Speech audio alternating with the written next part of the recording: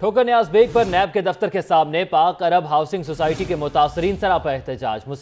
متاثرین کی پاک عرب ہاؤسنگ سوسائٹی انتظامیہ کے خلاف شدید نعرے بازی۔ مزید تفصیلات جان لیتے ہیں۔ حافظ ندیم بلوچ ہمارے ساتھ موجود ہیں۔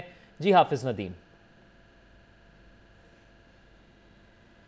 جی بالکل، میں اس وقت موجود ہوں ٹھوکر نیاز بیگ پر۔ نیب کے دفتر کے باہر میں موجود ہوں اور یہاں پر جو ہے پاک عرب ہاؤسنگ سوسائٹی کے جو متاثرین ہیں وہ یہاں پر سراپا احتجاج ہیں اور پاک عرب ہاؤسنگ سوسائٹی کے خلاف جو ہیں یہاں پر یہ لوگ احتجاج کر رہے ہیں اور اس کی وجہ یہ ہے کہ بقول ان لوگوں کے کہ ان لوگوں سے جو ہے وہ تقریباً جو انہوں نے وہاں پہ پلاٹس خریدے تھے اور ان کی قیمتیں بھی یہ مکمل طور پر جو ہیں وہ دے چکے ہیں۔ لیکن ابھی تک جو ہے وہ ان کے پلاٹ کی جو ہے وہ ان کی ملکیت جو ہے وہ پوزیشن جو ہے وہ نہیں دی گئی، جس کی وجہ سے یہ لوگ یہاں پر سراپا احتجاج ہیں۔ کسی کو دو ہزار چودہ میں وعدہ کیا گیا، کسی کو پندرہ اور کسی کو سولہ میں، لیکن ابھی تک جو ہے وہ ان لوگوں کو وہاں پہ پوزیشن جو ہے وہ نہیں دی جا رہی۔ ایون کے بقول ان لوگوں کے، ان لوگوں کے جو فائلز ہیں، جو پلاٹ کی، وہ بارہا جو ہے وہ مختلف لوگوں کو فروخت بھی کر دی گئی ہیں، جس کی وجہ سے یہ لوگ یہاں پر مکمل طور پر جو ہے وہ احتجاج کر رہے ہیں اور پورا امن احتجاج کر رہے ہیں۔ کوئی بھی روڈ جو ہے وہ انہوں نے ابھی تک بلاک نہیں کی، کیونکہ ان کی جانب سے یہی کہنا ہے کہ ان کی صرف اور صرف سنوائی ہونی چاہیے۔ یہاں پر لوگ بھی موجود ہیں ہاتھوں میں انہوں نے بینرز بھی اٹھائے رکھے ہیں پلے کارڈ بھی پکڑے ہوئے ہیں، تو ان سے بات کرتے ہیں، ان سے جانتے ہیں کہ آخر یہ مسائل جو ہیں یہ کیوں پیدا ہو رہے ہیں؟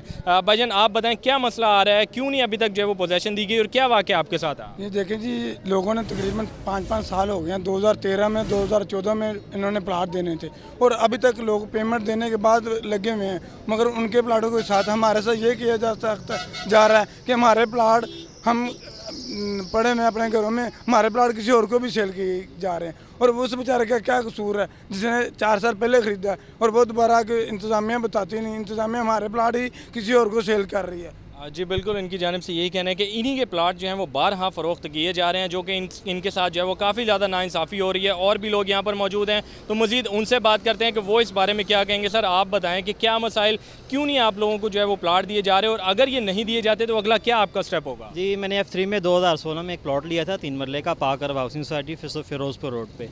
تو انہوں نے جو ہے بہت ہمارے ساتھ ظلم یہ کیا ہے کہ ہماری ٹوٹل پیمنٹ پیڈ ہونے کے باوجود ہمیں نہ یہ پلاٹ دے رہے ہیں اور F one F two G V L اور اوورسیز اس میں یہ کر رہے ہیں کہ نہ ہی یہ ان کے پاس ایل ڈی اے کا یہ اپروول نقشہ ہے اور ایک ایک پلاٹ جو ہے وہ تین تین، چار چار لوگوں کے نام پہ یہ ایشو کر رہے ہیں اور لینڈ ان کے پاس ہے نہیں پلاٹ یہ دھڑا دھڑ فائلیں یہ دھڑ دھڑ بیچی جا رہے ہیں۔